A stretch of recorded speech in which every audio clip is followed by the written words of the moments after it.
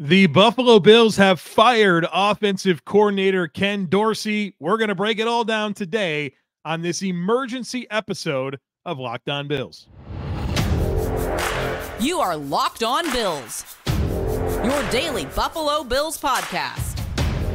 Part of the Locked On Podcast Network. Your team every day.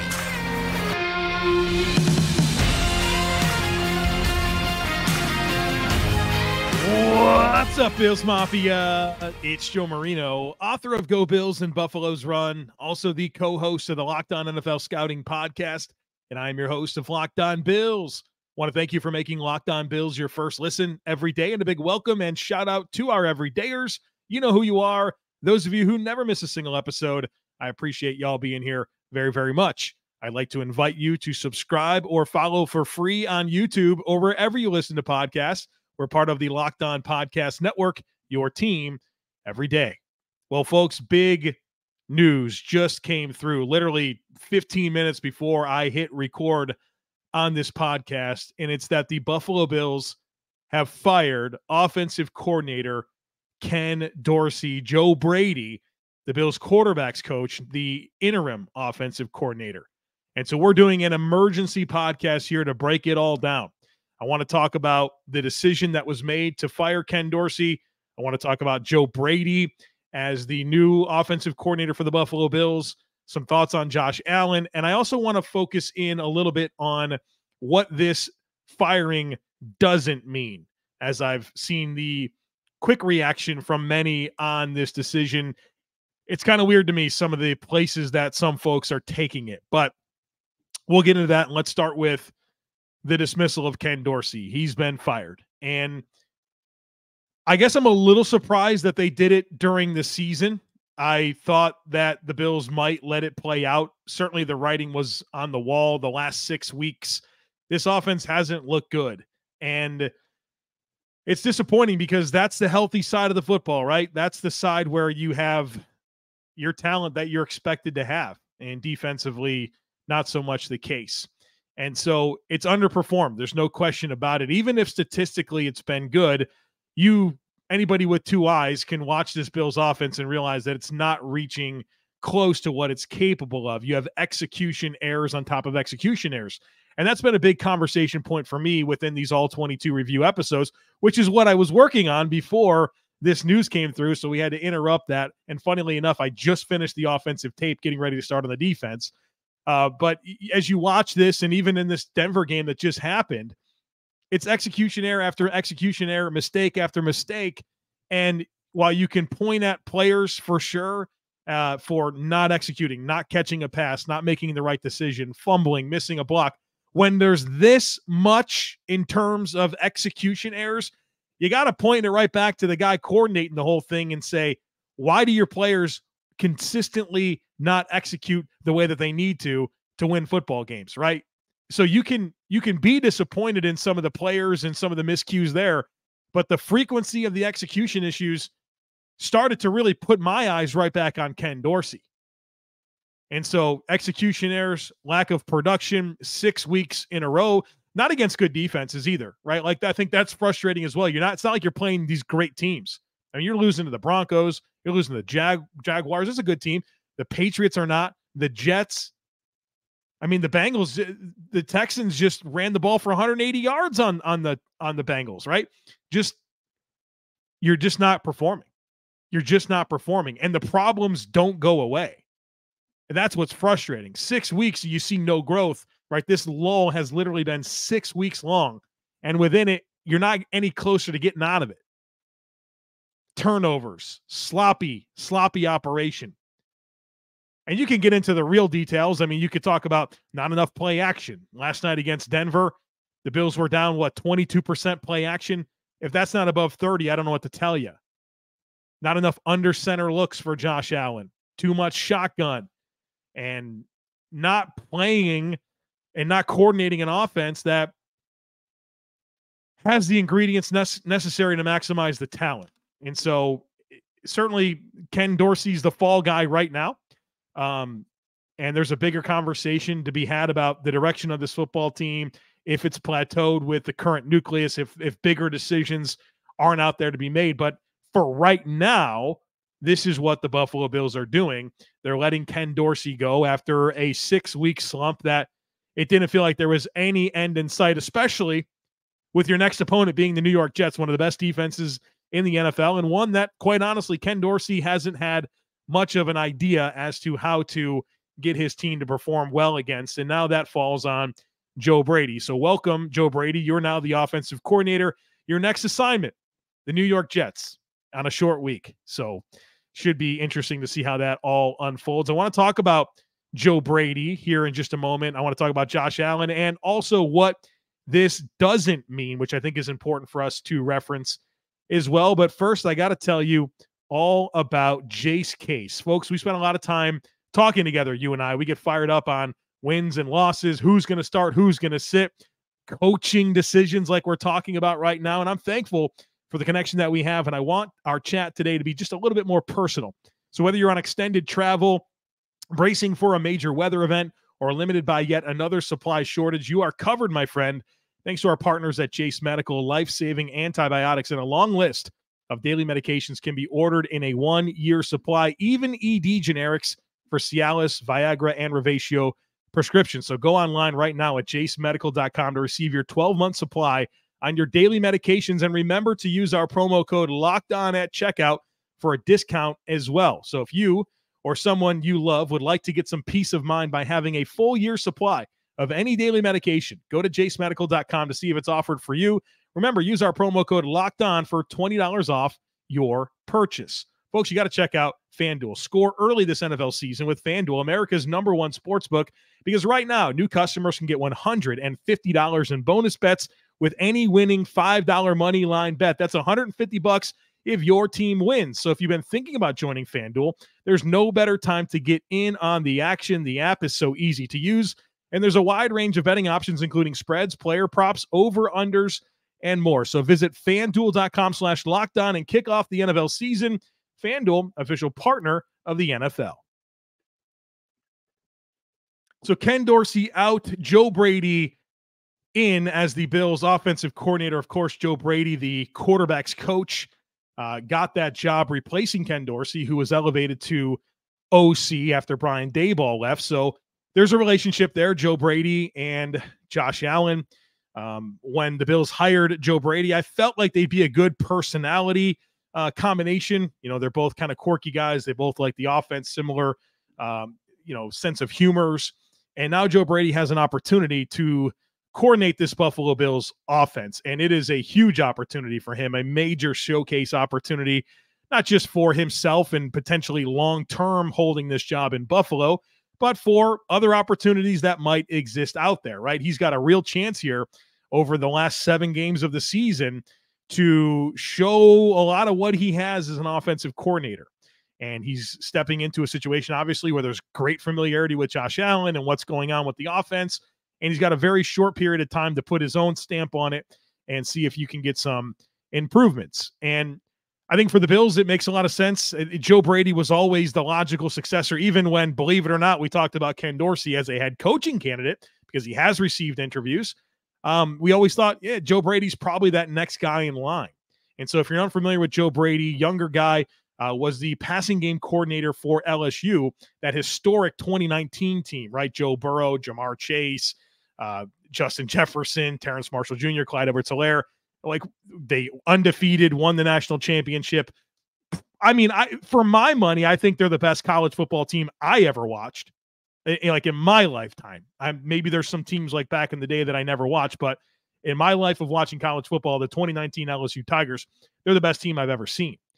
And obviously, the talent speaks for itself, right? You'd expect any coach to be able to get a lot out of what he had in Burrow and Chase and uh, Justin Jefferson, right? I mean, first round picks everywhere. Clyde Edwards Helaire, like a, a, certainly a good situation. And that got him NFL looks really quick, right? I mean, young guy. And, you know, before he can blink an eye, he's the offensive coordinator for the Carolina Panthers. Now, that didn't last long. It lasted uh, about as long as Ken Dorsey did in Buffalo, right? A season and a little bit into the next season.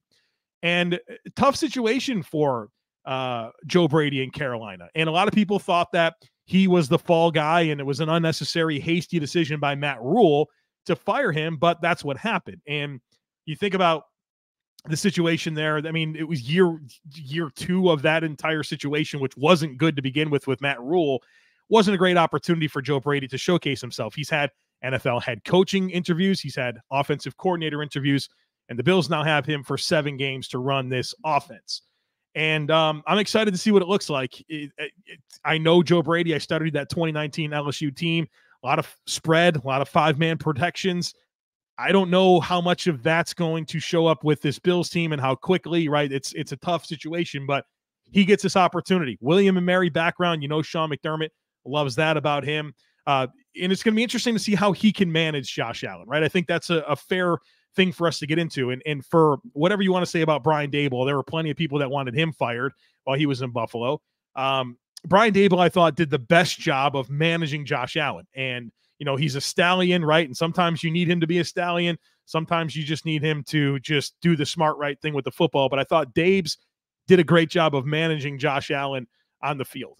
And uh, for Ken Dorsey, not sure if that was his strength, right? I don't think that it definitely wasn't because you you saw Josh not really take any steps, but really regress, I think, a lot in decision making and turnovers and some of the recklessness. And you know, I think you you can contrast that to the way that it looked with Brian Daboll you realize that Ken Dorsey didn't do a good enough job of that. Joe Brady, as the least experienced of any of these people that have now been Josh Allen's offensive coordinator, what type of what type of ability does he have to communicate and get Josh Allen in the right headspace to execute and play football the way that he needs to? That's going to be a fascinating storyline for us to watch, and um, it's going to be interesting. It's not like it's not like this is some old guy coming in that's coached football for a thousand years that's going to do it his way, right? This is Joe Brady, a young guy uh, that has some quirkiness about him. And you know, can he can he take charge and take command? And like that's what's going to be critical here. Taking command, like very quickly, proving what he is. And I think the output that he gets out of this offense is going to be really, really interesting to monitor, and especially how he manages Josh Allen. Speaking of Josh Allen, I'm really curious about his input here. You know, I think there's a lot of understanding out there that Josh Allen has a lot of say in this football operation. And on one hand, that's a great thing, right? You want your star franchise quarterback to have a lot of say in what's going on. And that's been a criticism of other teams in the past. Hello, Green Bay Packers with Aaron Rodgers, not really giving him a lot of chances to have input. And you see that show up in other places as well. Well, we, we certainly get the sense that Josh Allen has a lot of input in what's going on at One Bills Drive. And, you know, he wanted Ken Dorsey to be Brian Daboll's successor. That was his hand-pick offensive coordinator well, a season and a half later, it's over with, right? Ken Dorsey is out. So, did and we won't know. Maybe we will. I'm recording this well before the Bills have any press conferences to talk about it to give us more insight into what went into the decision. But I, I wonder how much Josh had to say about this and if he wanted this and if he felt like Joe Brady was the right guy to step in. As you know, we'll we'll see what is uncovered throughout the course of the week. But just letting you know something that I'm certainly thinking about. The last thing I want to talk about is what this doesn't mean, right? Because there's a there's plenty of blame to go around, folks. It's it's not just Ken Dorsey. That's a message that I've had on this podcast for weeks. It's not just Ken Dorsey. It's a lot of things. Certainly, Ken Dorsey deserves a nice big old chunk of that pie of, of blame, but it's not just Ken Dorsey. And so it's funny. A lot of the immediate reaction to this is, well, did Ken Dorsey tell Josh Allen to throw an interception or James Cook to fumble or Gabe Davis to drop a pass or was Ken Dorsey responsible for having 12 men on the field on the on the field goal at the end of Denver? Is Ken Dorsey responsible for the all-out blitz ridiculous call that put Taron Johnson in major conflict that led to the PI that led to the game-winning field goal? No, right? Like all of that stuff's true. But you can talk about it like right now that that's the decision. Sean McDermott's not firing himself today. Right? Like I, everybody wants heads to roll and all these things to happen. Well, right now, the one thing that they're doing is Ken Dorsey being fired as the offensive coordinator. It does not mean that Sean McDermott is off the hook. To me, if anything, it puts him on notice. Right? I mean, like, hey, your staff, your operation, not good enough. Things have to happen. McDermott is not off the hook. Josh Allen, not off the hook. A lot of things like it's this is can we just talk about it as one isolated thing? Like, okay, a lot of people thought Ken Dorsey should be fired. It happened. It doesn't mean that Sean McDermott's off the hook. 12 men is on him. Matthew Smiley, that's a problem for him as a special teams coordinator.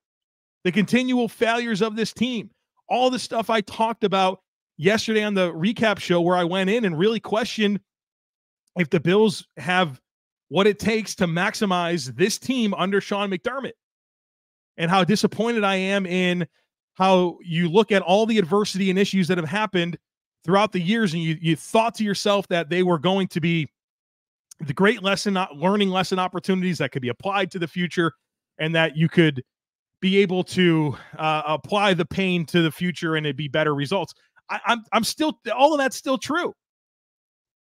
And and Sean McDermott deserves plenty of of of blame for this team plateauing for this team not maximizing what they've had over the years. Like he gets all that blame.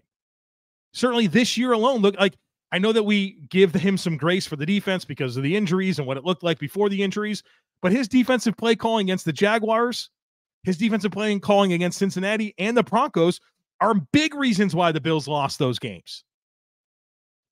So yeah, like we can you can be mad at Sean McDermott and also like talk about Ken Dorsey being fired as a necessary step in making some changes because this operation I think in some ways has absolutely expired and it certainly has plateaued. And you have to ask yourself the question is Sean McDermott the right coach that's going to get this team over the hump? Well, so far, no. So far, the answer to that is very clearly no. Is it the beginning of the end? Is this step one in a series of changes that are coming? Probably should be, folks. Probably should be. Because as you identify this next nucleus, which was a lot of what we talked about in the recap podcast, right? Some of this is expired. You have some up and coming players that you feel good about being a new nucleus.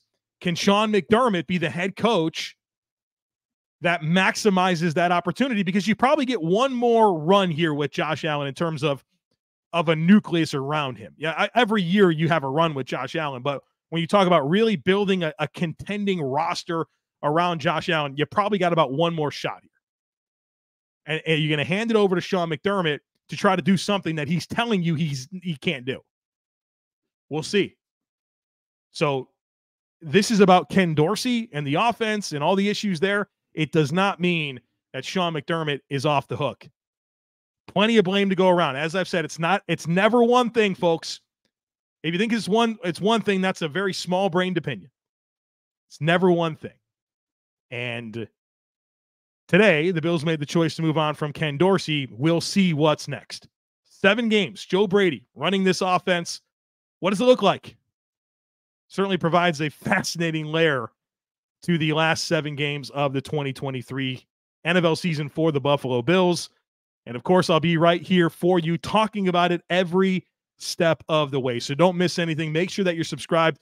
We're still going to get to the all 22 review episode. Obviously, this is a big uh big um middle of the day bomb that goes off that kind of sets things off. So maybe the 22 review episode might not drop until later tonight or early on Wednesday morning, but we will absolutely get that in for you and um, talk about this team every day here on Locked On Bills. So don't miss anything. Make sure that you are subscribed. Would love it if you took a second to rate, review, and share the podcast. Have a great rest of your day.